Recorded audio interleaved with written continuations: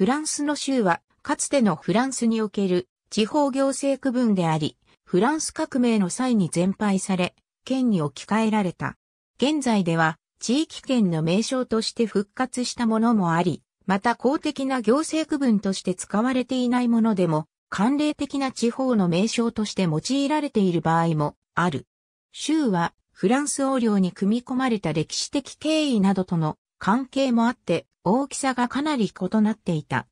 現在の県の一部分に過ぎないものもあれば、現在の地域圏とほぼ同じ大きさのものもあった。なお、州の語源はラテン語のプロインキアであるが、同じ語源の州名プロバンスとは、綴りが異なるので注意が必要である。以下は、フランス王領に組み込まれた年代順に番号付けしたものである。括弧内は組み込まれた都市と州都を表している。